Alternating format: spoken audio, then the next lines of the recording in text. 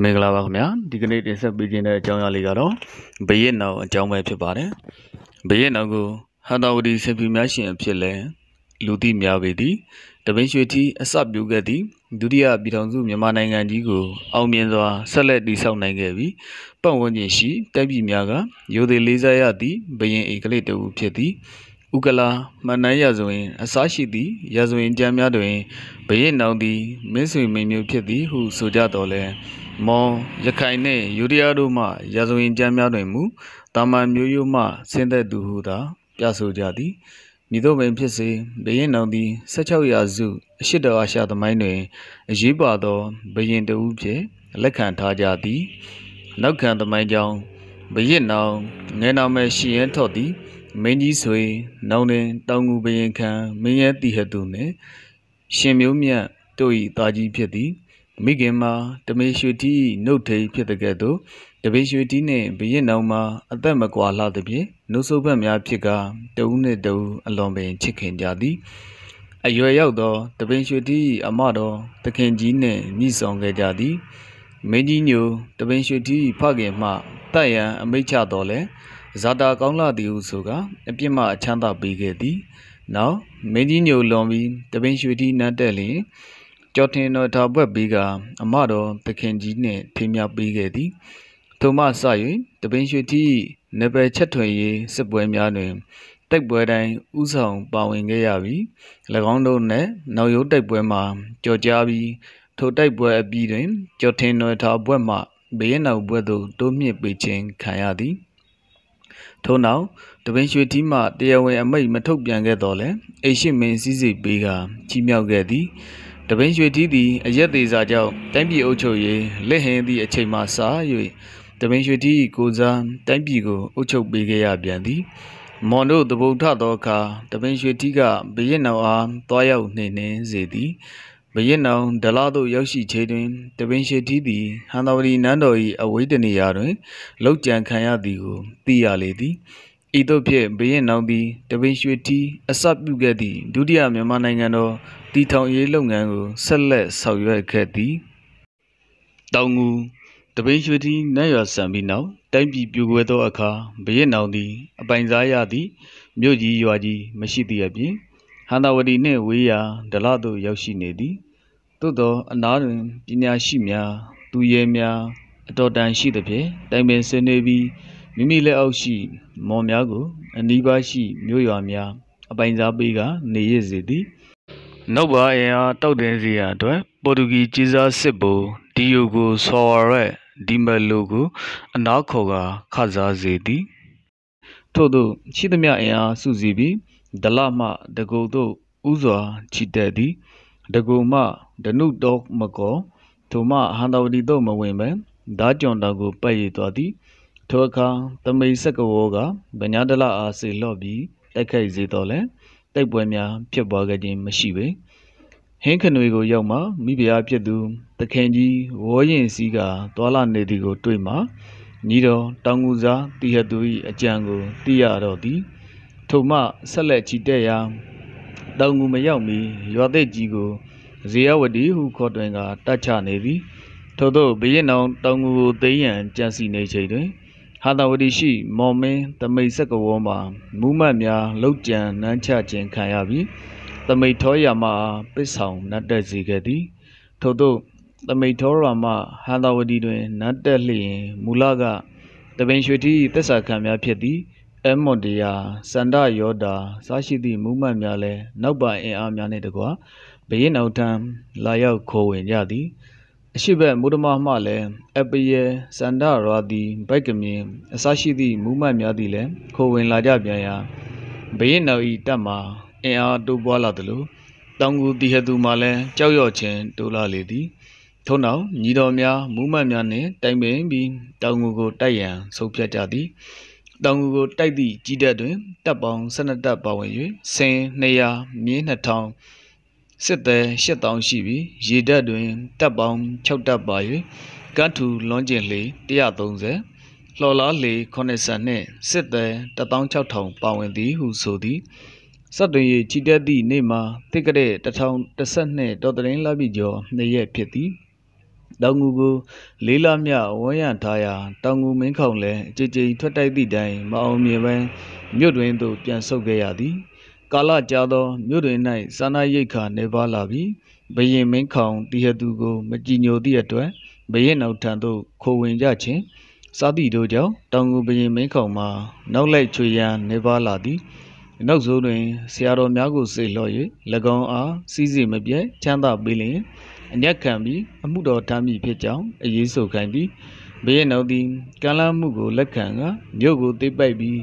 မင်းခေါင်အားအသက်မလော့သည့်အပြင်စီးစိမပြဲချမ်းသာပေးလေသည်မြို့ကိုရသည့်နေ့မှာတက္ကရာ910နဲ့တဘူတွဲလဆန်3ရက်ဖြစ်သည်ဗိသိက်ခံခြင်းနှင့်ဝတ္ထုများပေးရခြင်းတောင်ငူကိုရသောအခါမူးမတ်များကိုယာယီတဲနန်းတွင်စုယုံစေပြီးဗိသိက်တောင်းခံလေသည်ထိုပွဲတွင်ညီတော်တိရိဇေယကျော်ထင်အားမင်းရဲ့စီသူညီတော်နန္ဒယောဒာအား တဒုဓမရာဇာညီတော်တိဟတုတောင်ငူမင်းခေါင်အားမင်းခေါင်ညီတော်ဇေယနန္ဒအားမင်းရဲ့ကျော်ထင်အခြားမူးမတ်များကိုလည်းအသီးသီးဘွဲ့မီများပေးလေသည်နောက်မိမိတန်တန်းကိုဖြတ်ကာကျောင်းတော်ကြီးဆောက်၍ဆရာတော်တတ္တမဂုရုအားလှူဒန်းသည်တလတိဖျားညီနောအားရွှေချပူဇော်သည်တရေခတရာပြည်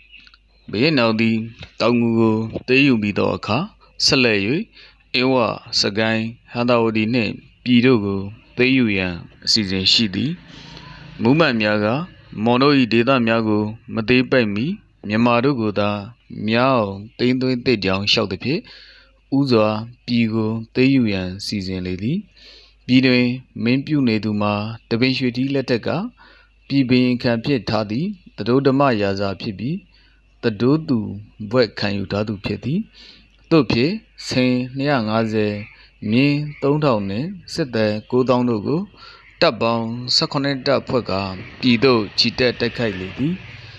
ထို့သောပြည်ကိုသိပိုက်ပြီးလျှင်တာဝတီမြို့စားနှင့်ဒနုဖြူမြို့စားတို့သည်လည်းနောက်ပါအင်အားများနှင့်တကွခိုဝင်လာကြသည်ဆယ်ရက်ကြာပြီးလျှင် ပြည်မစလေပကန်းငယ်နှင့်ပကံထိချီတက်ရာ ပကန်းငယ်စားစလေစားတို့လည်းကြောက်ရွံ့သည်ဖြစ်သောကြောင့်တမချခင်တွင်ပင် လာရောက်ခစားကြသည်ပကံစားမှမူတက်ဦးရောက်သည်နှင့်လာရောက်တိုက်ခိုက်လေသည်ဘရင်နောင်မှကြီးရည်နှစ်ဖက်ပြင်းထန်တိုက်သောအခါပကံစားကအသက်ချမ်းသာပေးရန်ပြော၍အညံ့ခံလာသည်ထိုအခါပကံစားကိုရထုမှထုတ်ပယ်ပြီးဦးဤတော်မင်းစီသူအားပကံကိုပေးသည်စေပြူကျောင်းတွင် ရေဓာတ်သစ်တီးပြီး ပကံမှအင်းဝါသို့ခြိတက်ကမြို့ကိုဝင်းရနေစဲမှပင်တောင်ဘက်ရှိပိုင်နက်ဖြစ်သည့်ဟင်းခနွေကိုဟာသဝတီတပ်များလာရောက်နှောက်ယှက်သည့်အတွက်တက်ရုပ်ကဖောင်များလှေများပေါ်မှဆင်မြင်းစစ်သည်တို့ကိုတင်ပြီးအမြန်ဆုံးစေသည်ကြံရှိသည့်ကြီးတပ်များကိုလည်းနေညအပြင်းချီစေသည်မြေထဲရောက်လျင်ညီတော်မင်းရဲ့ကြော်တင်အားတောင်ငူစောက်ရန်နှင့်အင်အားစုရန်စေလော်သည် ပြည်သို့ရောက်လျင်ဟာသာဝတီသို့ခြိတက်ရန်စစ်ပြင်ဆင်နေခြေတွင်မှာပဲအင်းဝမင်းမိုးပြဲနရပတိစီသူသည်စကိုင်းမင်းစီသူကျော်ထင်၏ရန်ကိုမခံနိုင်သဖြင့်ဘရင်နောက်ထံသစ္စာခံခိုလုံလာသည်ထို့သောဖြင့်အင်းဝသည်လည်းဘရင်နောက်၏လက်အောက်ခံဖြစ်လာသည်ဘရင်နောက်သည်မိုးပြဲနရပတိကိုရာထူးမှမချပဲမူလစည်းစိမ်ရာထူးအတိုင်းထားခဲ့သည်ဟန္တာဝတီ ထို့နောက်ဟန္တာဝတီသို့ချီရာရေတပ်အင်အား6တပ်တွင်တိုက်လေ300တစော့လှိငယ်100ရိတ်ခါလှေ100စစ်သည်4000ပါဝင်ပြီးညီတော်ပြည်မင်းတရုဓမရာဇာတပ်မှုချုပ်ဖြစ်သည်ဘရင်နောက်ကိုယ်တိုင်မှာတောင်ငူသို့ပြန်ပြီးတပ်22တပ်ဆင်400မြင်း9000နှင့်စစ်သည်တသိန်း1000ပါဝင်သည့်ကြီးတပ်ကြီးဖြင့်ဟန္တာဝတီသို့ချီသည် ထို့သောဖြင့်ဟန္တာဝတီနှင့်နီးသောမူမန်တို့ကလျှောက်တင်သည်ဖြင့်မြင်း9000ကိုရှိပြီးစီရာတမိတ်ထောရမ၏တက်မကြီးနှင့်တွေ့ဆုံပြီး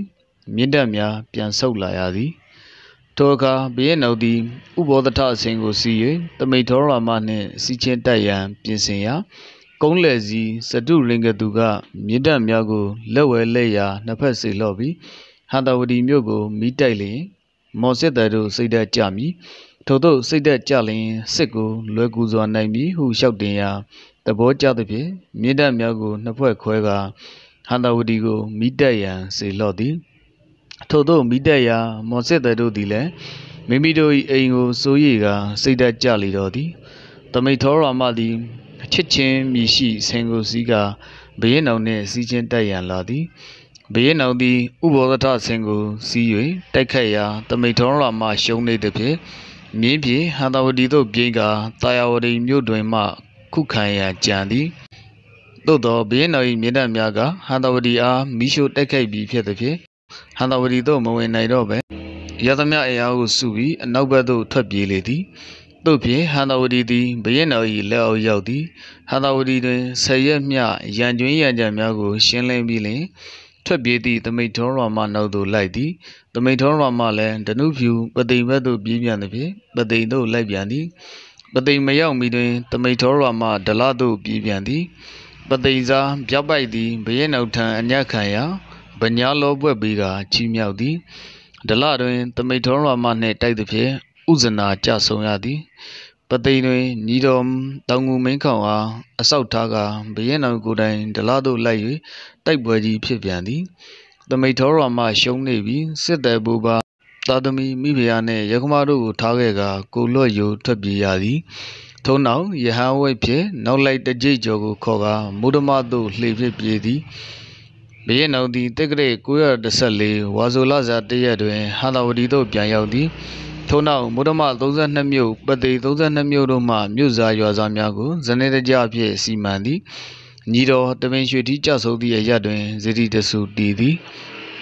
ဝါဇိုလဇာ10ရက်ရောက်လျင်အိမ်တော်ဆောက်စီပြီး၁၄ရက်နေ့တွင်အိမ်သစ်တက်သည်ညီတော်များကိုမင်းမြောက်တစား၅ပါးကိုပေးကဘေရင်ခံဖြင့်တည်တည်ချီးမြှင့်သည် ညီတော်မင်းရဲစီသူအားမုဒ္ဓမဘရင်ခံဖြစ်၎င်းညီတော်သတို့ဓမရာဇာပြည်ဘရင်ခံဖြစ်၎င်းညီတော်မင်းခေါင်တိဟသူအားတောင်ကူဘရင်ခံဖြစ်၎င်းအတီးတီးပေးသည်ဗမာမွန်ရှမ်းအမတ်များကိုလည်းရထူးစည်းစိမ်များပေးသည်တမိတ်ထောရမာယီနိကုံမုဒ္ဓမတွင်ပူအောင်နေသည့်တမိတ်ထောရမလည်းမုဒ္ဓမတွင်မနေဝတ်သဖြင့်ကဝေါဘက်သို့ပြေးသည် ကဝေါစားနှင့်ဘွယ်တိုင်းစားတို့ကလိုက်လံဖမ်းဆီးသဖြင့်ဒဏ်ရာရကပြေးရပြန်သည်ဒဏ်ရာသက်သာသောအခါတိုက်ကလားတွင် လူသူစုယုံပြီးစစ်တောင်းကိုတိုက်ရန်ချီတဲလာသည်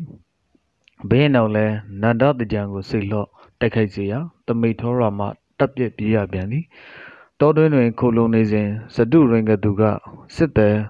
300နှင့်ဖမ်းရာထွက်ပြေးရပြန်သည် နောက်ဆုံးတဲ့ကတဲ့914တကူလဆန်း73ရက်တွင်ဇရွဲဘုံနယ်မှကရင်တကြီးဖမ်းမိကဟန္တာဝတီသို့ဆက်သလာသည်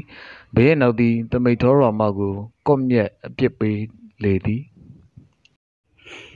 အဲဝါနှင့်ရှမ်းဘေးနောက်၏လက်နက်နိုင်ငံမှာတောင်ငူဟန္တာဝတီမွန်၃ရက်နှင့်ပြည်အပါဝင်မြန်မာနိုင်ငံအလယ်ပိုင်းဒေသများပါဝင်လာတော့လဲမြန်မာတို့၏မူလဌာနဖြစ်နေသည့် အင်းဝမှာ ပြန်လည်လက်လှော့ခဲ့၍ကြံရှိနေသေးသည် အဘဲကြောင့်ဆိုသော အင်းဝတွင် ထားရှိသည့် ရှမ်းမင်းမိုးပြဲနရပတိအားရခင်စကိုင်းစားစီသူကျော်ထင်က တိုက်ခိုက်အနေယူကနရပတိဘွက်ခံ၍အင်းဝကို အုပ်စိုးနေသည် ထို့ကြောင့် ဘုရင်နောက်သည် အင်းဝကို တိုက်ယူရန် အားထုတ်လေသည် အင်းဝချီရန်လှေတတ်ပြင်ရာတွင် အင်အားမှာ38လမ်းရှိ ရွှေဟင်းသာဖောင်တော် ဇလာကပင်တိုက်လေကြီးနှင့်သားရဲလှေအစင်း300ကျော်လှေကားကြော့လှေ200ကျော်ဖြစ်ကပြည်မရေတပ်အင်အားနှင့်ပေါင်းလျင်တိုက်လှေ600လှေကားကြော့လှေ300ရိတ်ခါတင်လှေ900နှင့်စစ်သည်တသိန်းတစ်သောင်းဖြစ်လေသည်ရေတပ်ဗိုလ်ချုပ်မှာညီတော်ပြည်ပင်ခံသတို့ဓမ္မရာဇာဖြစ်ပြီးတပ်ပေါင်း၁၁တပ်ပါဝင်သည်အေယာဝတီမြစ်ကြောင်းတိုင်းချီတက်သည် ကြီးတပ်တွင်ဘရဲနောက်ကိုယ်တိုင်ဦးစီးကတပ်ပေါင်း25တပ်တွင်ဆင်ရှိရာမြင်း9000စစ်သည်တသိန်း8000ဖြစ်သည်ထိုထဲတွင်ဗရင်ကြီးကလား400လဲတနတ်ကိုင်တပ်သားများဖြင့်လိုက်ပါမှုထမ်းကြသည်ကြီးတပ်ကိုမူအရှိဘက်တောင်ငူကျောင်းမှချီတက်သည်တောင်ငူရောက်လျင်တောင်ငူမင်းခောက်ကြံပေးချက်အရာစစ်သုံးကျောင်းခွဲကချီတက်လေသည်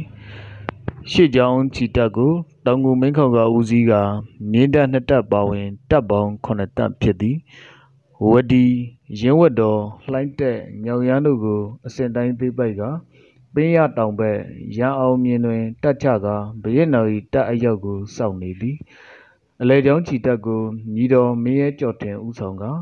မြစ်တက်နှစ်တက်ပါဝင်တပ်ပေါင်း9တက်ဖြစ်သည်ပင်တလဲပြင်စီတို့ကိုသိပိုက်က တောင်ကိုမင်းခေါင်တက်နှင့်ပင်းရရန်အောင်မြင်တက်တွင် ပူပေါင်းသည်အနောက်ကျောက်ချီတက်ကိုဘရစ်နော်ကိုယ်တိုင်ဦးဆောင်ပြီးမြစ်တက်လေးတက်အပါဝင်တပ်ပေါင်း10တက်သည်တောင်တွင်ကြီးကြောက်ပတောင်ပကံတို့ချီသည်ပကံရောက်တွင်ပြည်မသတိုးဓမ္မရာဇာ၏ရေတပ်နှင့်ဆုံသည်နောက်သတိုးဓမ္မရာဇာအားလက်ထုတ်ကွန်ရွာပကံကြီးတို့ကိုတိုက်ခိုက်သိပ်ပိုက်စေသည်ပကံကြီးမြို့စားလည်းမိုးညင်းစော်ဘွားထံထွက်ပြေးခိုလိုသွားသည် နောက်အမြင့်ပဒုံကန်းဒီတို့ကိုဆက်လက်တိုက်ခိုက်စေရာ အောင်မြင်သည် နောက်ပကံမပကံကြီးကြက်ခဝရာပရိမတို့မှတစ်ဆက်ချီတက်ကမြင်းမှုနှင့်စကိုင်းတို့ကိုတိုက်ခိုက်အောင်မြင်ပြီးစကိုင်းတွင်ကြီးရည်နှစ်တပ်ပေါင်းကတက်ချနေသည်ဘရင်နောင်စကိုင်းမရောက်မီပင်းရရအောင်မြင်ရှိညီတော်နှစ်ယောက်၏တပ်ကိုအင်းဝမင်းနရပတိကဆင်တရာမြင်းနှစ်ထောင် စစ်သည်၄000ဖြင့်ထွက်တိုက်သည်ညီတော်မင်းရဲကျော်ထင်ကတပ်ခုနှစ်တပ်ဖြင့်စီးကြိုတိုက်ခတ်ရာအင်ဝတပ်ပြက်ပြီးမြင်း30ကျော်နှင့်မိုးညင်းအမတ်တပ်ပလိုကို အရှင်ရသည်နောက်တစ်ကြိမ်တိုက်ခိုက်တော်လဲမင်းရဲကျော်ထင်နှင့်မင်းခေါင်တပ်များကပြန်တိုက်သည်ဖြင့်အင်းဝတပ်များပြေးသည်ကိုတတားဦးထိလိုက်လံတိုက်ရသည် နောက်ဘရင်နောင်စကိုင်းတို့ရောက်လျင်ပင်းရရှိညီတော်နှစ်ယောက်ကိုအင်းဝတိချီတက်ကမြို့ကိုဝန်းရံစေသည်ညီတော်မရဲကြော်တင်တက်များနောက်ကျောင်းမကြီးစင်တဲမှချီတက်ပြီးအင်းဝအရောက်တွင်အင်းဝနရပတိမှစင်တရာမြင်း3000ကျော်ဖြင့်ထွက်တိုက်သည်ဟန္တာဝတီမှသမိတ်ပယံကပလင်ဆွဲစင်ဖြင့်၎င်းဗညာကြံထောကဇေယတတ္တရုဆင်ဖြင့်၎င်းညီတော်မင်းရဲကျော်စွာကတံမြန်စွာသောဆင်ဖြင့်၎င်းအတီးတီတက်ရာ အင်းဝတ္တနှစ်ဖွဲ့ကွဲလေသည်နောက်ဟန္တာဝတီမှတိရိဇေယနောယထာကယရနာပြောင်းကျော်ဆင်ဖြစ်၎င်းရာဇတကြံကရဲလူလင်ဆင်ဖြစ်၎င်းထက်ကူပြီးတက်ရာအင်းဝတ္တများမြို့တွင်သို့ပြန်ဝင်ရလေသည်မဝင်နိုင်ပဲကြံသည့်ဆင်ခုနှစ်စီမြင်း30ကျော်နှင့်စစ်တပ်400တို့ကိုသုံးပန်းအဖြစ်ရလေသည် နောက်လုံးတော်ပေါက်ကိုပတ်ကာတက်တီးနေသည် တောင်ငူမင်းကောက်တပ်များတတားဦးအရောက်တွင်အင်းဝနရပတိကဆင်ရှိရာမြင်းနှစ်ထောင်ဖြင့်စီးကြိုတိုက်ခတ်ရာဟန္တာဝတီမှတမိတ်တန်လိုက်ကငရက်နွယ်ဆင်စီသူကျော်ထင်ကနာဂဝရဆင်တို့ဖြင့်တိုက်ရာအင်းဝမြေတပ်များပြက်ကဆင်တက်လည်းတက်လေသည်နောက်ဟန္တာဝတီမှတောင်ငူမင်းခေါင်ကစောရနှင့်ဆင်တမေရဲတင်ရန်ကဆိုလမန်ဆင် ဘယကမဏိကမာတင်ပြောင်မွန်ဆင်တို့ဖြင့်တိုက်ရာအေဝတလုံးလုံးပြက်ကနေ90ကျော်လူ200ကျော်ကိုသုံးပန်းအဖြစ်ရသည်နောက်တောင်ဘလူးပရကမတ်ကိုပတ်ကတက်တီနေသည်ထို့သောဘရင်နောင်နှင့်တရုဓမ္မရာဇာတို့ကစကိုင်းမှတစ်ဆရွှေကျဲရဲမှအင်းဝမိန်ခေါင်ကတောင်ဘလူးပရကမမှအင်းဝ မင်းရဲ့ကြော်တင်ကလုံးတော်ပေါင်းမှအင်းဝအတီတီဝင်ရမိလေအင်းဝမှာလွတ်ပေါက်မရှိတော့ပဲဟန္တာဝတီတပ်များ၏တက်ခိတ်ခြင်းကိုခံရလေတော်သည်သို့ဖြစ်တက်ကတဲ့916တပူတွဲလပြည့်ကျော်၄ရက်တနင်္ဂနွေနေ့ညအချိန်တွင်အင်းဝကြလေသည်အင်းဝမင်းနရပတိလည်းကျော်ယုံ9ယောက်ဖြင့်အိုးပုံစော်ပွားစစ်ကူလာမိစင်ခေါင်းအရတ်သို့မှန်းစားလျက်သွားရာမက်ခရာအရောက်တွင် ဟန်သရီတပ်များကဖမ်းမိလေသည်ဘေးရဲ့နောက်လဲနရပတိကိုတနာသည်ရှိသည်ဖြင့်မတတ်စေပဲအလုတ်ကျွေးသုံးကြိတ်ဖြင့်ကောင်းမွန်စွာနေစေသည်ဟန္တာဝတီသို့ပြန်ရတွင်လည်းခေါ်ဆောင်သွားခဲ့သည်ထို့သို့အသက်မှလော့ကာကျေးဇူးပြုချေသည်အကြီးကျယ်ကျိုးရှိသည်ကိုနောက်တွင်တွေ့ရပေသည်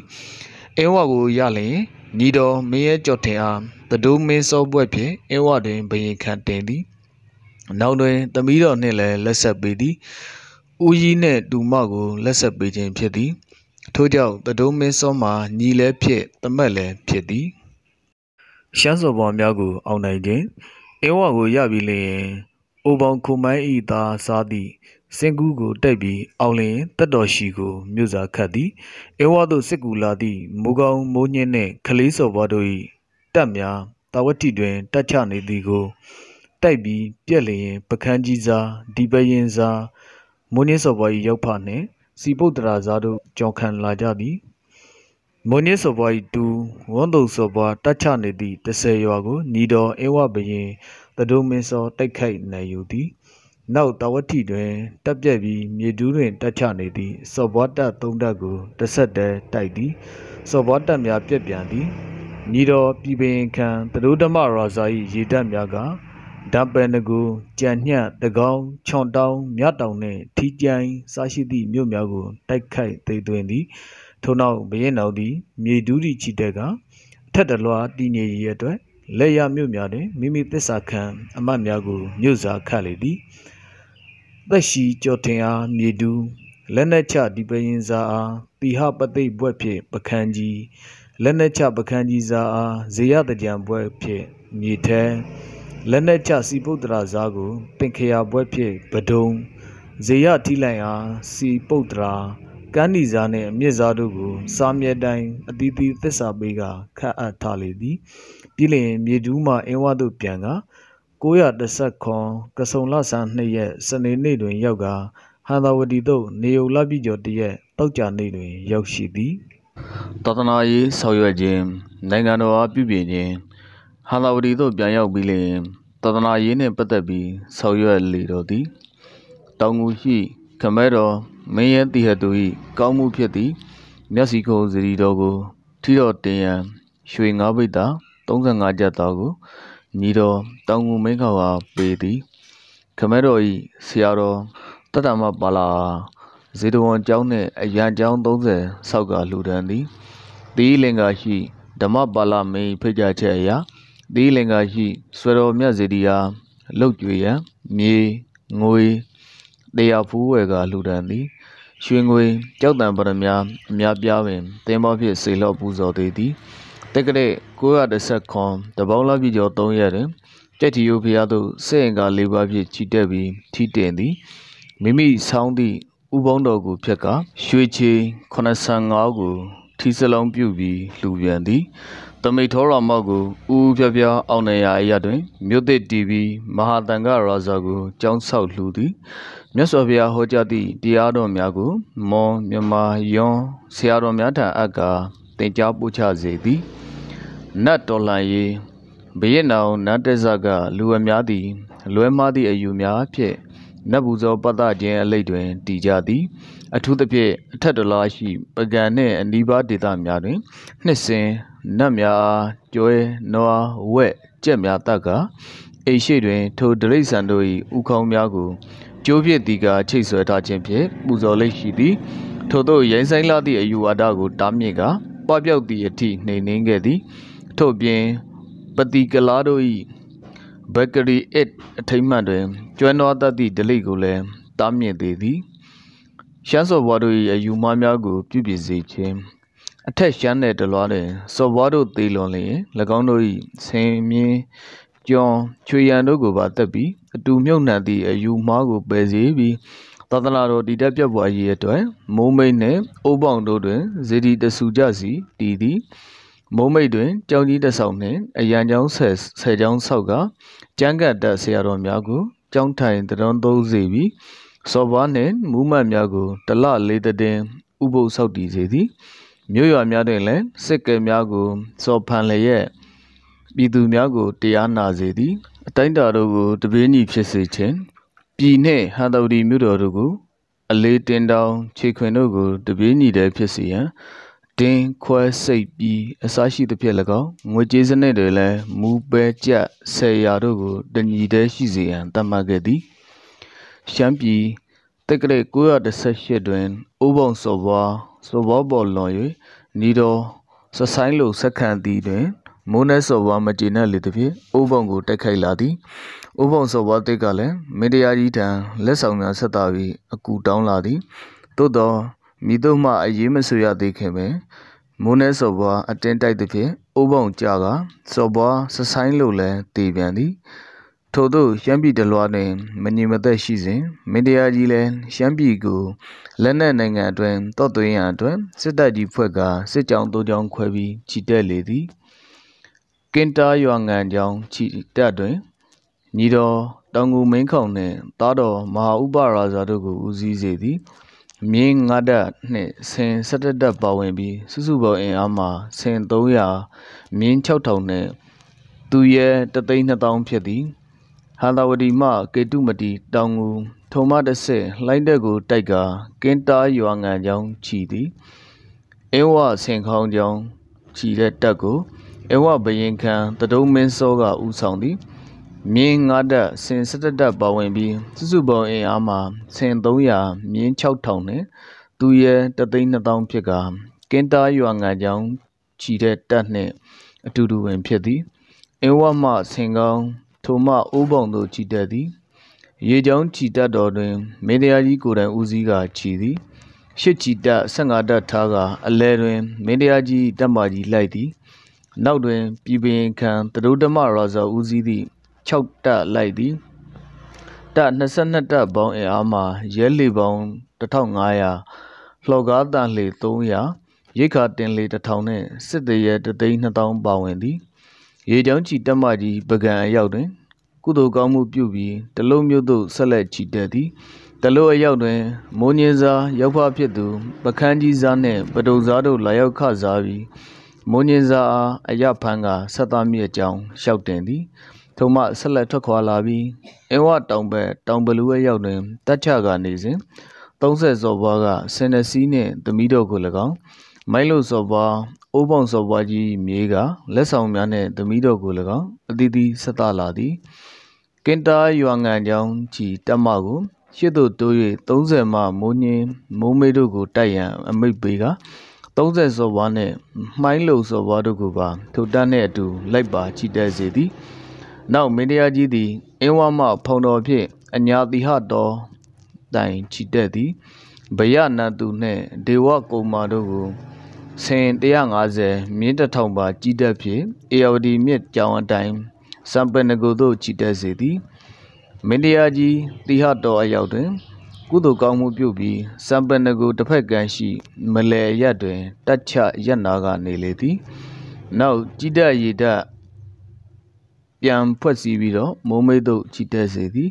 မိုးမိတ်တို့မရောက်မီတက်စခန်းအလိုတွင်မိုးမိတ်စောပွားလဲတိုက်စင်900 မြင်း2000ရက်မက်4000ဖြင့်သားတမက်နှင့်ညီတို့ကိုဆေလော့ပြီး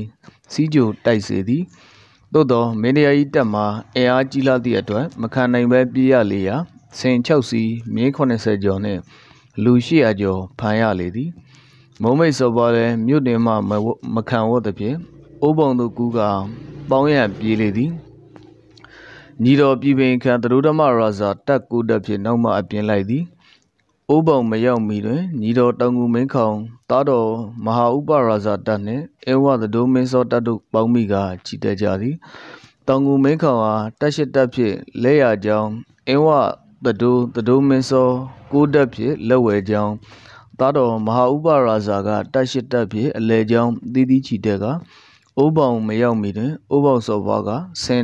150မြင်း3000သူရဲ9000ဖြင့် သားတော်မဟာဥပရာဇာတက်ကိုတိုက်လာသည်တောင်ငူမင်းကောင်ကကူညီတိုက်ပေးကအင်းဝသဒိုးမင်းစောတက်ကအိုးပေါင်မျိုးကိုဝင်တိုက်သည်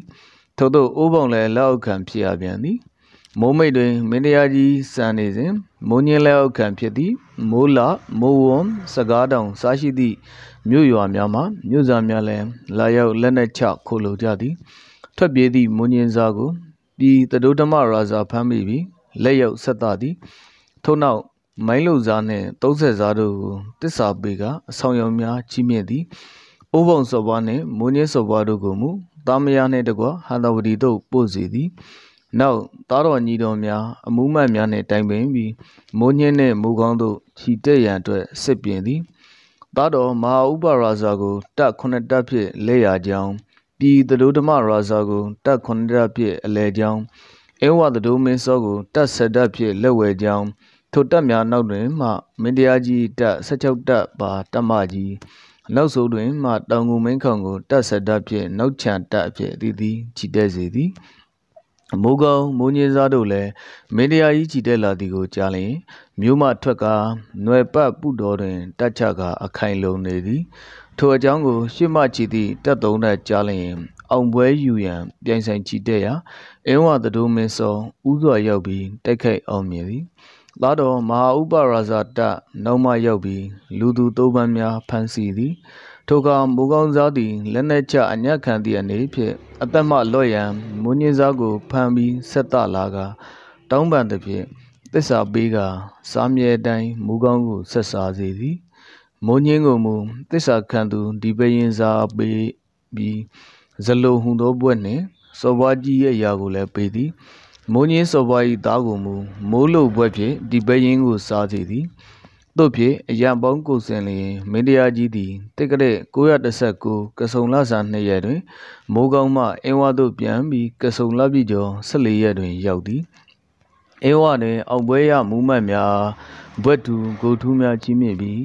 ဝါဆိုလဆန်6ရက်တွင်အင်းဝမှထွက်ပြီးဟာသာဝတီသို့ဝါခေါင်လဆန်73ရက်တွင်ရောက်လေသည် အထက်ရှမ်းပြည်တလွားကိုလက်နက်နိုင်ငံဖြင့်သိမ်းသွင်းပြီးတွင်ရခိုင်ကလေးကသစ္စာခံဖြစ်ခဲ့သည့်မိုးနေစားမှာထောင်ထားချားနာကတီဘောကိုတိုက်ခဲ့ပြီးတီဘောစော်ဘောကိုတတ်လေသည်နောက်30စော်ဘောပိုင်တဲ့ကိုကျူးကျော်လေသည်ထိုအခါမေဒီယာကြီးလည်းရှမ်းပြည်သို့တဖန်ခြိတက်ရန်စစ်ပြင်လေသည်သားတော်မဟာဥပရာဇာကိုဆင်300မြင်း3000ရဲမဲ8000ပါတက်ဆက်တက်ဖြစ်လက်ရကြောင်း တောင်ကူမင်းခေါင်ကိုဆင်300မြင်း3000ရဲမဲ8000ပါတက်ဆက်တက်ဖြစ်လက်ဝဲကြောင်းပြည်သူဓမ္မရာဇာကိုဆင်300မြင်း3000ရဲမဲ့8000ပါတက်ဆက်တက်ပြအလဲကြောင်းအင်းဝသတို့မင်းစောကိုမိုးညင်မိုးကောင်းမိုးမိတ်စောဘွားတက်များဦးစီးစေပြီးဆင်300မြင်း3000ရဲမဲ့8000ပါတက်ရှစ်တက်ဖြစ်ဆင်ကောင်း30တီဘောတိတိတက်ချီစေသည် မေတ္တရာကြီးကိုယ်တိုင်တပ်ပေါင်း12တပ်တွင်ဆင်900မြင်း6000တရဲတသိန်းဖြင့်နောက်တက်ဖြင့်ချီတက်သည်ဟန္တာဝတီမှမိုးနေသို့919တစောင်းမိုးလဆန်9ရက်တွင်စတင်ချီသည်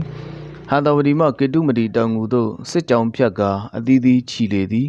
အလဲကြောင်းချီသည့်ပြည်သတို့ဓမ္မရာဇာတက်ကိုမိုးနယ်သစ္စာခံများဖြစ်သည်မိုးပြဲနောင်မော်ရောက်ဆောက်စကား ဇားများကအသီးသီးကြိုဆိုတိုက်ခတ်ရာရောက်ဆောက်ဇာတက်ကိုတိုက်ပြီးအောင်မြင်ကနာဆုတောင်ရှိမေတ္တရာကြီးတက်သို့ပြန်ပူးပေါင်းပြီးနေသည်ထိုမှတပ်များကိုစစ်ကြောင်း၅ကြောင်းဖြတ်ကာကြည်စေသည်မိုးနေစားလဲညီတော်ပြည်သတို့ဓမ္မရာဇာတက်ကိုတောင်ကြားတစ်ခုအရောက်တွင်ထပ်မှတက်ခဲ့ရာပြည်မင်းလဲမတိုက်တာသဖြင့်လွင်ပြင်သို့ပြန်ဆုတ်သည် လွင်ပြင်ကျေရအရယုံမှနောက်မှလိုက်လာကြသည့်မိုးနေစော်ဘွားတက်ကိုပြန်လှည့်ပြီးအပြင်းတိုက်လျင်မိုးနေတက်ပြက်လေသည်နောက်မိုးနေသို့ဆက်လက်ချီတက်သည်ထိုအခါမိုးနှဲစော်ဘွားလည်းကြောက်ရွံ့လေသဖြင့်မြို့ကိုဆော့၍ပြေးလေသည်သို့သောတပ်များဖြတ်ကာရှာစေသဖြင့်မိုးနှဲစော်ဘွားစားလည်းသားတော်မိုက်ကိတ်စားကိုလက်ဆောင်များနှင့်တကွဆက်သစေပြီး အသက်မှလွတ်ရန်လျှောက်ထားတောင်းပန်သည်မင်းတရားကြီးသည်တနာစိတ်ဖြင့်အသက်မှချမ်းသာပေးသည့်အပြင်စားမြဲအတိုင်းမိုးနှဲကိုဆက်စားစေသည်နောက်ထွက်ပြေးသွားသောမိုးနှဲသစ္စာခံများဖြစ်ကြသည်ညောက်ရွှေရောက်ဆောက်မိုးပြဲနောင်မော်စကားစော်ပွားများကိုလည်းပြန်လည်သစ္စာပေးကစားမြဲတိုင်းစားစေသည်ဇင်းမဲအေဒီ1550ခွန်အရောက်တွင် ဘေးရန်အောင်မင်းတရားကြီးသည်ဇင်းမဲကိုခြိတက်တက်ခတ်ရန်စီစဉ်လေသည်အကြောင်းမှာဗညောပယံအမည်ရှိအမတ်ကဇင်းမဲမှာမြို့ရန်58မြို့ရှိပြီးတကြိမ်မှမပြည့်စည်ဘူးဟုကြော်ထားသည်ထို့ကြောင့်ဇင်းမတ်ကိုချီတက်သိပိုက်ကလက်နက်နိုင်ငံထူထောင်သည့်သည်ဟုလျှောက်တော်ကြောင့်ဖြစ်သည်ဇင်းမတ်ကြီးစစ်ကြီးတွင်သားတော်မဟာဥပရာဇာကိုတက်ဆက်တက်ဖြင့်ရှစ်ဖြားချီတက်နောက်မှအင်းဝတဒိုမင်းစောအားတက်ရှစ်တက်ဖြင့် နောက်မှတဒုဓမ္မရာဇာတက်ဆက်တက်ဖြင့်နောက်မှမင်းတရားကြီးကတက်ဆနတက်ပါတမကြီးဖြင့်နောက်ဆုံးမှတောင်ကူမင်းခေါင်ကတက်ဆက်တက်ဖြင့်နောက်ခြံတက်ဖြင့်စင်တိုင်းချီတက်လေသည်ချီတဲ့ရလမ်းကြောင်းမှာမိုးနှဲမှတန်လွင်ဓာဝင်စိတ်ဓာဝင်စိတ်မှဖောင်များဖြင့်တန်လွင်မြစ်ကိုဖြတ်ပြီးတစ်ဖက်ကံအရောက်တွင်တပ်များဖြတ်ကာချီစေသည်သားတော်မဟာဥပရာဇာတက်ကိုလဲရကြောင်း ပြည်သတို့ဓမ္မရာဇာကိုအလဲကြောင်းအင်းဝသတို့မင်းစောတက်ကိုလက်ဝဲကြောင်းထို့နောက်မှမင်းတရားကြီးနှင့်တောင်ကူမင်းခေါတက်များလိုက်သည်ဇင်းမဲ့မင်းပြဆက်စစ်သည်ဟာဒရီတပ်များချီတက်လာသည်ကိုကြားလျင်မြို့ကိုအခိုင်လုံဖြစ်စေရန်ကျုံမြောင်ကတုတ်ရင်တားတို့ကို ပြင်ဆင်ကာအမြောက်လက်နက်များကိုလည်း မြို့ယူပေါ်တင်ကစောက်လေသည်မင်းတရားကြီးလည်းဇင်းမဲ့ရောက်လျင်မြို့မြောက်ဘက်တွင်ယတနာအောက်ထင်ဟုသမုတ်ကတက်ချနေသည်ဇင်းမဲ့သို့တက်များအလုံးစုံရောက်လျင်တက်မှုများကိုခေါ်ကညီညီညာညာတိုက်ရန်အချိတ်ချက်ပေးပြီးအမိတ်မလိုက်နာလျင်တတ်စေဟုမိတ်သည်တတ်မှတ်သည့်အချိန်ရောက်တွင်တပြိုင်နက်တက်များကရွရွချွချွန်တပြိုင်နက်တိုက်သည်ဖြင့်ခဏတွင်နှင့်ဇင်းမဲ့မြို့တချမ်းပြတ်တော်သည် ထိုအခါဇင်းမဲ့မင်းဗျဆက်စစ်ကလည်းကြောက်ရွံ့သည်ဖြင့်လက်ဆောင်များနှင့်ညက်ခံလာလေသည်မင်းတရားကြီးလည်းအသက်မှလော့သည့်အပြင်ရာထူးမှလည်းမချပဲတစ္ဆာပေးပြီးဇင်းမဲ့မျိုးကိုသာမင်းဖြစ်ဆက်လက်အုပ်ချုပ်စေသည်ထို့ပြင်ဇင်းမဲ့မြို့ရန်58မြို့မှမြို့စာများကိုခေါ်ယူစေပြီးအသီးသီးတစ္ဆာပေးကစားမြဲတိုင်းဆက်စားစေသည် နောက်ဇင်းမဲ့ရှိပျက်စီးနေသောဖျားကြောက်ကံများကိုပြုပြင်ခြင်း ပိရကတ်တော်များကိုပို့ချပြတ်ပွားစေခြင်းတို့ကိုပြုသည်နောက်ဇင်းမဲ့မှလက်မှုပညာရှင်များဆေးဆင်မြင်းကျွမ်းကျင်သူများကိုဟန်တဝတီသို့ခေါ်ဆောင်ကအကွက်ချနေထိုင်စေသည်ထို့နောက်ဗညာတလနှင့်ဗညာဆက်တို့ကိုစင်တရာမြင်းတထောင်နှင့်စစ်တရဲတထောင်ဖြင့်ဇင်းမဲ့တွင်မြို့စုပ်ဖြင့်ထားခဲ့သည်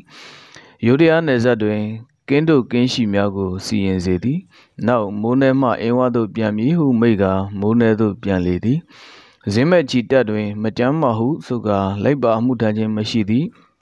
မိုးနယ်စားနှင့်ညောက်ရွှေစော်ဘွားရောက်ဆုပ်စော်ဘွားတို့သည်တန်လွင်ဒေါင်းဝင်စိတ်တရားကိုဖျက်ခြင်းအဆောက်ရဲမဲ့300ကျော်ကိုတတ်ခြင်းတို့ကိုပြုလုပ်ကပုကံတော့သည်သို့သောတန်လွင်မြစ်ကိုရောက်ဖြတ်ကူမိသည်နှင့်တပြိုင်နက်သူစော်ဘွားများကအကြောင်းမျိုးမျိုးပြကခွက်လော့ရန်တောင်းပန်ကြသဖြင့်အသက်မှအလွတ်တော်လဲအရာထူးမှထုတ်ပယ်လေတော့သည် မိုးနဲကိုစော်ဘွား၏သားဖြစ်သူသူခဲမြောက်ရွှေကိုစော်ဘွား၏သားဖြစ်သူစမောခန်တို့အားတီးတီးလွှဲအပ်စေပြီးအရာရှိခတ်လေသည်ထို့နောက်သေးနီစော်ဘွားလည်းလာရောက်တစ္ဆာခံသည်ဇင်းမဲ့သို့ပြန်ချီစေခြင်းထိုအခြေတွင်ဇင်းမဲ့မင်းလက်အောက်ရှိဘဲအနံလကွန်တူရိုင်းစားသည့်မြို့ရန်များမှမြို့စာများသည်ဇင်းမဲ့မင်းထံကူးပြောင်းတစ္ဆာခံပြီးပုတ်ကန်သည့်အတွက်ဇင်းမဲ့မင်း ဗျဆက်စစ်သည်မေတ္တာကြီးထံလျှောက်တင်ကစစ်ကူရန်တောင်းလေသည်ထိုစစ်ကိုမူအင်းဝတတိုးမင်းစောကိုဥဆောင်ကချီတက်စေသည်စစ်ရင်အားမှာတပ်ပေါင်း18တပ်တွင်ဆင်900မြင်း6000နှင့်စစ်တရဲတသိန်း4000ဖြစ်သည်ရွာငါကြောင်ချီတက်ကညောင်ရွှေမိုးနယ်ဒေါင်းဝင်စိတ်မှအစင်းမဲ့ဖြစ်သည်ဇင်းမတ်သို့ရောက်လျင်တတိုးမင်းစောသည်မြို့စောက်ကြံခဲ့သည်ဗညာတလဗညာဆက်တို့နှင့်တိုင်ပင်ကအင်အားအလိုရင်းရှိသည့် လူရိုင်းသို့ချီတက်တက်ခိုက်လေသည်လူရိုင်းတွင်ရှိကြသည့်လူရိုင်းစားလင်းစင်းမင်း၏စစ်တကြီးဗညာကဲ့နှင့်စက်ကဲငတိစုပ်ငတိဝင်တို့ကို အရှင်မိသည်ထိုအခါဇင်းငတိသည် လာရောက်တက်ဆွဲထားသည့်လင်းစင်းမင်းလည်းဆုတ်ခွာသွားလေသည်ပုတ်ကန်ကြသည့်ဘဲအနံဇင်းငတိစားများသည်လင်းစင်းသို့လိုက်ပြေးကြသည် တဒုံမင်းစောသည်လည်းတိုင်းပြည်နေသက်အောင်စီမံပြီးအင်းဝါသို့ပြန်သည်တရုတ်စောပွားများခိုးဝင်လာခြင်းဇင်းမတ်ကိုအလုံးစုံအောင်နိုင်ပြီလေမိုးဝင်းကိုင်မာလတာစန္ဒာတို့မှတရုတ်စောပွားများလည်းအင်းဝါတို့ကိုတိုင်တော်၎င်းညီတော်များကိုတော်၎င်းတည်တည်စေလောကတစ္ဆာခံကြသည် အင်းဝါမှာဟန်တဝတီသို့ပြန်ရောက်လျင်မင်းတရားကြီးသည်ငကိုကြံရွယ်ရင်းရှိသည့်အတိုင်းကောင်းမှုသောမဟာစီတီကိုတည်ရန်ဆိုင်ပြင်းလေသည်အလင်းမြန်ပင်တည်စေသည့်အတွက်6လအကြာတွင်တန်တောင်100အရက်တော်150ရှိသည့်မဟာစီတီကြီးတည်ထားကိုးကွယ်ခြင်းမှာပြီးမြောက်အောင်မြင်လေသည်တက္ကရာ922ပြာသူလပြည့်ကျော်2ရက်နေ့တွင်ထီတော်တင်ပွဲကျင်းပသည်မိမိကိုယ်တိုင်ဆောင်းသည့်မင်းဆောင်မကိုက်တော်ကိုလည်းလှူသည် ဇေဒီတော်ကြီးအရှိတွင်ဥယျာဉ်တော်ကြီးတိဆောက်ကတာဝဒေသာဟုအမည်ပေးသည်ရွှေနန်းတော်ကိုလည်းဖြတ်ကာမဟာဇေဒီတွင်ဇေတဝန်ကျောင်းကြီး၄ကျောင်းနှင့်တကွကျောင်းရံတရားကိုလည်းလှူသည်ရွှေကျောင်းကြီး၄ကျောင်းတွင်950ဇန်ဒီပတ်တော်များကိုရေးဆွဲပူဇော်စေသည်မဟာဇေဒီတတိုင်းအတွင် သူဓမ္မာဇေယများဆောက်ကရွှေချရန်ရွှေချီ53ပိတ်တာ9ကျပ်နှင့်တမတ်သားတိတိလှူသည်ဇေဒီတော်တီစင်ကစံမြန်းသည်ပြတ်တသိုးဆောင်ကိုလည်းဖြက်ကာကျောင်းဆောက်လှူသည်မဏိပူရနှင့်မြောက်ဘက်တလွှာ1559မဟာဇီဒီကိုတည်နေစဉ်အတွင်းမဏိပူရကရဲစော်ဘွားသည်အင်ဝပိုင်ဖြစ်သည့်မြောက်ဘက်မိခင်အောက်ကျေးလက်များကိုတ တိုက်ခိုက်ထိပါသည်ကိုသိရသည့်အတွက်စစ်ပြင်သည်ယခုတစ်ကြိမ်တွင်မူမင်းကြီးမင်းသားများကိုစိတ်လော့တိုက်ခိုက်စေခြင်းမရှိဘဲမြို့စားရွာသားများကိုသာစိတ်လော့တော်သည်မဏိပူရချီတပ်မှဗညာဒလကိုကြီးမှုခတ်ပြီးတပ်ငါတပ်တွင်တိုက်စင်300မြင်း3000စစ်သည်9000ဖြင့်ကြီးကြောင်းကန်ဒီစားကိုအကြီးမှုခတ်ပြီးတပ်ရှစ်တပ်တွင်လှေ900စစ်သည်9000ဖြင့်ရေကြောင်း မိုးကောင်းစော်ပါမိုးညင်းစော်ပါမိုးမိတ်စော်ပါများကိုလည်းမိမိတို့နောက်ပါတပ်များဖြင့်စန္ဒာကြောင်းမှချီတက်စေသည်ဟန်တော်ဒီမှချီတက်လာသည့်ကြီးရေတပ်များနှင့်စော်ပါတပ်များပေါင်းစုံမိလျင်ရေတပ်ကိုဖျက်ကကြီးတပ်ဖွဲ့သည်ထို့နောက်ကလေးစော်ဘွားကိုကလေးကြောင်းအော်စားစော်ဘွားကိုရှစ်တက်ချီစေပြီးယူကြောင်းစော်ဘွားတို့၏တပ်ပေါင်းကိုစန္ဒာကြောင်းစစ်ကြောင်း၃ရက်ခွဲကချီတက်လေသည် ယူကြောင်းမှချီသည့်ဗညာတလသည်မဏိပူရစော်ဘွားထံစီးစီမပြတ်အသက်ချမ်းသာရလိုလျင်လက်နဲ့ချရန်ရာဇသန်စေကအကြောင်းကြားလေသည်မဏိပူရစော်ဘွားလည်းပြင်းရန်ကြံစီနေစဉ်မှာပင်သားများရောက်လာသည့်ကြောင့်မပြေတော့ပဲလက်နဲ့ချအညက်ခံပါကြောင်းရောက်ဖဖြစ်သူ ခုံဆဲကြံမာစိတ်လှော့လျှောက်ထားစေသည် ဗညာတလလည်းအညက်ခံသည်ကိုလက်ခံပြီးမြို့တွင်သို့ဝင်၍စော်ဘွားသစ္စာပေးသည်နောက်တမြို့လုံးထိတ်လန့်စေရန်တနတ်အမြောက်တို့ကိုမနာတမ်းပြစ်ဖောက်စေသည်နောက်စော်ဘွားမိစ္ဆာယူကိုပယ်စေပြီးဗုဒ္ဓဘာသာတွင်တက်ဝင်စေသည်စော်ဘွားသမီးကို အမတ်လေးပါအခမ်းအနားဖြင့်ဟာသာဝတီသို့အပ်စေသည်နောက်မဏိပူရမှပြန်သည်1561တွင်မေတ္တရာကြီးဟန်သာဝတီတွင်ရှိနေစဉ် မိုင်မော်မိုင်နာစီခွင်ဟိုသာလတာစန္ဒာစော်ပွားများကလာရောက်ကနေပင်များကိုထိပါသည့်အတွက်သားတော်မဟာဥပရာဇာတက်ရောက်နေနေစီပြန်သည်တို့ဖြင့်စစ်ကြောင်းလေးကြောင်းခွဲချီတက်ကြသည် မိုင်မောရောက်လျင်စော်ဘွားတို့လည်းကြောက်ရွံ့ပြီးတစ္ဆာခံကြသည်ယူရီးယား1 တက္ကရာ912 AD 1563တွင်စင်ဖြူတော်လေးစီးရှိသည့်ယူရီယာမင်းမဟာချက်ကရာဖတ်ဗျတ်အာဒီရာဇာစင်ဖြူတစည်းဆက်တရန်ဗညာတလကိုရာဇသစေသည်စင်ဖြူလေးစီးရှိသည့်အနက်တစည်းဆက်လျင်ယူရီယာနှင့်မြမသည် ရေနှင့်မြေကဲ့သို့ဖြစ်စေရမည်ဟုဆိုလိုက်သည် ထို့သောဘရင်တော်၏ရာဇသံကိုရလျင်ယူရီယာနန်းတွင်တွင်စဉ်းစားရန်အတွေးတို့ဖြစ်လာသည်ဘရင်တော်၏လက်နက်နိုင်ငံမှာအနောက်ဘက်မဏိပူရမှအရှိဘက်ဇင်းမဲ့အထိမြောက်ဘက်တရုတ်စော်ဘွားများ၏စန္ဒာမှတောင်ဘက်တနင်္သာရီတိုင်အောင်ကျပြသည့်အတွက်အစဉ်ပြူဆက်ကလက်အောက်ခံရနုံနုစစ်ပြိုင်ပြူနုံနုဖြင့်အမှုမှန်မင်းကြီးမင်းသားတို့နှစ်ဖက်ကွဲကအုပ်စုနှစ်စုချိတ်တင်ဖြစ်လေသည်သားတော်မင်းသား ဗျရာမတော်နှင့်အမတ်ကြီးအောက်ပြစက်ကီတို့ကဆင်ဖြူပေးသည့်တိုင်ဘရင်တော်၏နေချက်မှုကိုရပ်တန့်နိုင်မည်မဟုတ်ပြီးတော့လဲလက်အောက်ခံပြုမိသာဖြစ်သည်ထို့ကြောင့်စစ်သားပြိုင်မည်ဟုဆိုပြီးဆင်ဖြူမဆက်ရန်လျှောက်ထားသည်နောက်ဆုံးတွင်ဆင်ဖြူမဆက်လိုသည့်ဘက်ကအနိုင်ရကယူရီးယားတို့ကပညာတလကိုကြောင်းပြန်သည်မှာဆင်ဖြူယန္တနာဆိုသည်မှာဖုတ်ကံပါရမီနှင့်ပြည့်စုံသူ ပြည်တနေမင်းတို့နှင့်သာထိုက်တန်သည်ဟန်သာဝတီမင်းတရားသာတရားနှင့်အညီအုပ်ချုပ်လျင်ဟန်သာဝတီမင်း၏နိုင်ငံအတွင်း၌ဆင်ဖြူများမလွဲမသွေပေါ်ထွက်လာမည်မှာအမှန်ပင်ဖြစ်သည့်အတွက်ဆင်ဖြူမပိုင်ဆိုင်မည့်အရေးအတွက်စိုးရုပ်ဖွယ်မရှိဟု၍ဖြစ်သည်ထိုအကြောင်းပြမှုကိုရလျင်ဘရင်နောက်သည်တပင်ရွှေထီးလက်ထက်ကရန်ယုံသာရန်ခဲ့သည့်အယုဒ္ဓရာအားအပီးသေးရန်စစ်ချီလေသည်ဆဲ့အားမှာတပ်ပေါင်း56တပ်တွင် စစ်သည်9သိန်း8000ဆင်1600မြင်း2000ဖြစ်သည်ဟန္တာဝတီမှကမန်ပိုက်တောကတဲပိတ်တလောက်သူဝနာလောက်နှင့်အယုဒ္ဓရာတိုင်ခြီသည်ပထမဆုံးတိုက်ရအားများစွာချထားသည် ကမန်ပိုက်ကိုတိုက်သည် ကမန်ပိုက်စားကိုတာမယာနှင့်မိသည်ညီတော်ပြည်တတိုးဓမ္မရာဇာနှင့်အင်းဝတတိုးမင်းစောအားတပ်28တပ်နှင့်ပိတ်တလောက် ညီတော်တောင်ငူမင်းခေါင်နှင့်သားတော်မဟာဥပရာဇာအားတပ်28တပ်နှင့်တောင်ကတဲ့မင်းတရားကြီးကိုတိုင်ကမူတပ်ဆက်တပ်ဖြင့်သူဝနာလောက်သို့ချီတက်သည်သူဝနာလောက်တမကပိတ်စေစာဩရပိတ်စေလဲကြောင်းခံလာသည် နောက်တပ်များပြန်စုစည်းကအယုဒ္ဓရာသို့ခြီသည်လမ်းတွင်ယူရီးယားမင်းတမက်ဖြစ်သူ ဩရဓမ္မရာဇာဗျဓမ္မရာဇာအညက်ခံသည်ယုဒယာမင်းသာတော်အေရှိမင်းမဟာဗျရာမသောရေချောင်းမှတိုက်သည်ရှစ်ပြေးမြမာတက်ဆနတ်တက်တို့အထိနာပြီးအကူညီပေးလာသည့်နောက်တက်များရောက်လာသည့်အတွက်ယုဒယာတက်ပြက်သည်အေရှိမင်းလည်းပြေးရသည်လက်မလျှော့လိုသည့်ယိုရီယာမင်းသည်သားတော်ဗျမဟိန်နှင့်ဦးကြီးတော်တို့နှစ်ဦးပေါင်းပြီးအလုံးရင်းဖြင့်လမ်းမတိုက်စေသည် သူကိုယ်တိုင်လည်းအင်အားများစွာဖြင့်နောက်မှလိုက်သည်လုတ်ကလီအရောက်တွင်မြမရှိပြေတပ်နှင့်ယူရီးယားတို့ထိတိုက်တွေ့ပြီးတိုက်ပွဲဖြစ်ရာနောက်မှမြမစစ်ကူတို့ရောက်လာပြီးဖိတိုက်သည်ဖြင့်ယူရီးယားတို့တပ်ပြဲရပြန်သည်ထိုတိုက်ပွဲမှာအဆုံးဖြတ်ပင်ဖြစ်သည်နောက်မှပါလာသည့်ယူရီးယားဘီရင်လည်းသားတော်ညီတော်တပ်များပြည့်၍ပြန်အလာတွင်ဖယုံဖယဲဖြစ်နေသည့်တပ်များကိုစုစည်းကအခိုင်အမာပြုပြီး လောကလီတပ်မှခုခံသည်မခံနိုင်သဖြင့်ဘရင်သားတော်ညီတော်များမြင်းဖြစ်ပြေးရသည်မင်းတရားကြီးလည်းလောကလီတွင်ပင်စံနေပြီးတော့ညီတော်သားတော်များကိုအယုဒ္ဓရာမြို့သို့ခြိတက်ဝန်ရံစေသည်တပ်များမှမြို့တွင်သို့မြောက်များမိဘများဖြင့်ဆက်မပြတ်ပြစ်ခတ်သွင်းစေသည် ယိုဒီယမ်မင်းလည်းနောက်ဆုံးတွင် မခံနိုင်တော့သဖြင့်စင်ပြူတော်တစည်းဆက်တာကအညက်ခံမိအကြောင်းလျှောက်တင်လာတော့သည်နောက်ဆုံးတွင်ယိုဒီယမ်မင်း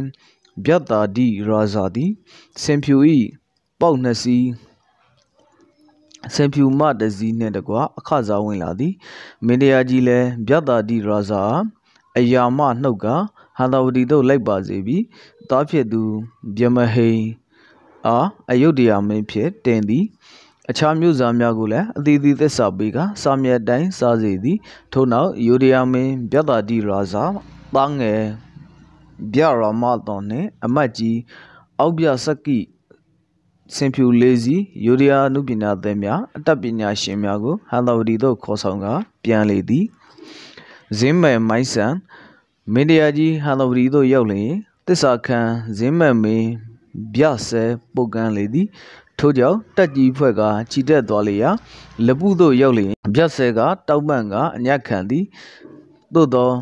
ဇင်းမမင်း၏လက်အောက်ရှိမြို့စားအချို့ဇင်းမမင်းထံခုံလိုရန်ပြေးသောကြောင့်နောက်မှလိုက်စီသည်နောက်ပြည်ရွာအရေးကိုစီမံပြီးဟန္တာဝတီတွင်ရှမ်းတို့ပုဂံသည့်အရေးကိုဖြည့်ရှင်းရန်နေပြည်တော်သို့ပြန်လေသည်သားတော်ညီတော်များကိုမိုက်ဆန်အားဆက်လက်တိုက်ခတ်စေသည်ဟန္တာဝတီရှမ်းတဘုတ်တို့ကိုနှိမ်နှင်းခြင်း မင်းတရားကြီးဇင်းမဲ့သို့စစ်ချီစဉ်ဟန္တာဝတီနေပြည်တော်ဝန်းကျင်တွင် အကွက်ချကနေထိုင်စေသည့်ရှမ်းတို့သည်အကြီးကဲတဦးကိုတင်မြောက်ကဗညာကြံထောဘွက်ပေပြီးတော့ပုတ်ကန်လေသည်အင်အားစုစုပေါင်း3000ကျော်များရှိသည်ဟုဆိုသည်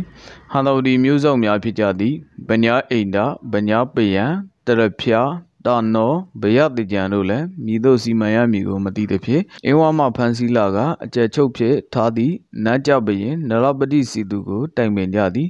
နရပတိစီသူလည်းတစ္ဆာခံကဦးစီး၍တိုက်ရန်သဘောတူလေပြီးတိုက်ရာရှမ်းတို့တပ်ပြက်ကဒလသို့ဆုတ်ပြေသည်မင်းတရားကြီးထိုတဲ့င်းကိုကြားလျင်ဟန်တော်ဝတီသို့အမြန်ပြန်လာပြီးမြို့တွင်သို့မဝင်ပဲ တဘိုတို့ရှိရာဒလသို့တွားရောက်နှိမ့်နေတော့သည်နိုင်လင်ရှိရှိသမျှသောတဘုံ9000ကျော်အားဖမ်းခေါ်လာပြီးနေပြည်တော်ရောက်သောစက်ကြီးများဖြင့်လှောင်ထားပြီးမိတိုက်တတ်စေသည်တန်ဃာတော်များတောင်းပန်သည်ဖြင့်အကြီးမှု80ကျော်ကိုသာတတ်စေသည်ထိုကိစ္စပေါ်ပေါက်ပြီးနောက်မင်းတရားကြီးသည်လိုချိုရေးအတွက်လက်ရှိနေပြည်တော်ကိုစော့ပြီးနန်းသစ်တီရန်ဆုံးဖြတ်လေသည်ယူရီးယားနှင့် ယူရီးယားပထမကြေအောင်မြင်ပြီး9နှစ်အကြာတက္ကရာ930 AD 1568တွင်ဒုတိယကြိမ်ချီတဲ့ရန်အကြောင်းဖန်လာသည်နန်းကြယူရီးယားမင်းသည်ရဟန်းခံပြီးနောက်ဖျားဖူးရန်ဟုအကြောင်းပြပြီးယူရီးယားသို့ပြန်သွားကသားဖြစ်သူဗျမဟိန်နှင့်ပူပေါင်းပြီးပုတ်ကန်တော့သည်ထိုတဲ့င်းကိုပိတ်တလောက်စာဩရပိတ်တလောက်ယူရီးယားဘရင်၏ရောက်ဖက လာရောက်သတင်းပို့သောကြောင့်ဗညာလောဗညာကျန်ဗညာပယံတို့အားစစ်တပ်ကြီးဖွဲ့ကယူရီးယားသို့ခြိစေသည်ပိတလောက်မှရောက်လာသောအော်ယာအားစော်ဘွားတောက်ကြည်ပွဲဖြင့် ထီးဖြူမကိုက်ကိုပါပေးသည်ပိတ်တလောက်ကိုတက်များခေါ်ပြီးခိုင်လုံနေစေသည်ထိုအခါယူရီးယားမင်းသည်လင်စင်းမင်းကိုပါခေါ်ပြီးပိတ်တလောက်ကိုလာရောက်တိုက်ခိုက်သည်သို့သောအခုခံကောင်းလာသဖြင့်မြို့ကိုကြောက်အောင်မတိုက်ခိုက်နိုင်ပဲရန်နေရသည်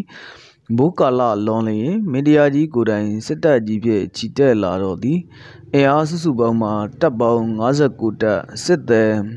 9သိန်း2800ရှိသည် ပိတ်တလောက်ရောက်တွင် အလျင်သွားပြီးမှအယုဒ္ဓယသို့ခြီသည်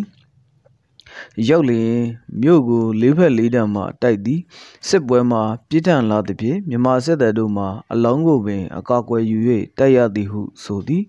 တာဝန်ပေါ့လျော့သည်ဖြင့်တပ်တွင်ကိုမိတိုက်ခံရသောကြောင့်စစ်ဆေးပြီးအပြစ်ရှိသည့်ဗညာဆက်နှင့်စောတိုက်ခံတို့ကိုကွက်မြက်သည် ထို့သောမြို့ကိုရန်စဉ်အတွင်းတွင်နန်းကြယဟန်လူထွက်ယူရီးယားဘရင်ဗျတ်တာဒီရဲလွန်သည်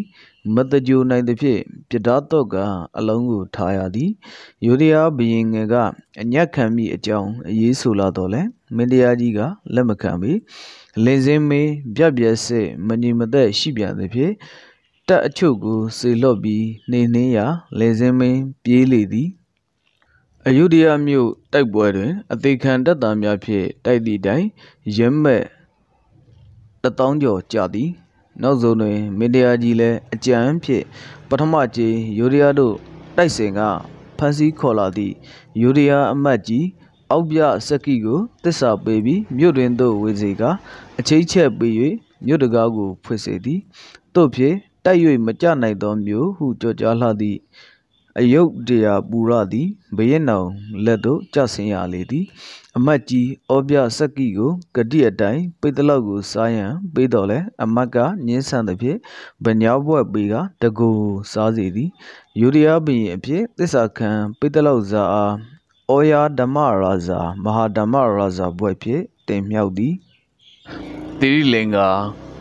ထူးခြားမှုတရက်မှာ1585တွင် ဟာတာဝရီရှိဘုရင်နောင်အားတိရိလင်္ကာမှ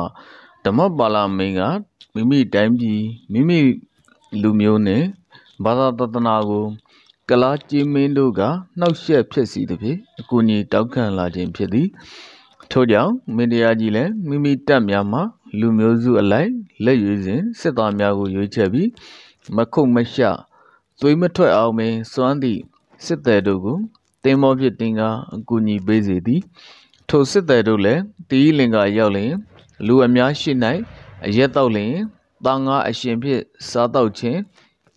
မိမိတို့အချင်းချင်းထုတ်ခုတ်ပြခြင်းထို့သောထုတ်ခုတ်ရာတွင်ဓာပီးလှန်ပြီးသူအချင်းချင်းဖြစ်သည်ဖြင့်ရှနာကြခြင်းမရှိပေတို့ကိုပြုလုပ်ပြလေသည် ထိုအခါတိရိလင်္ကာမင်းရန်သူများလည်းကြောက်ရွံ့သည်ဖြင့်အညက်ခံကြသည်သို့ဖြစ် တိရိလင်္ကာတွင်သာသနာဆက်လက်ထွန်းကားစေရန်ကူညီပေးခဲ့လေသည်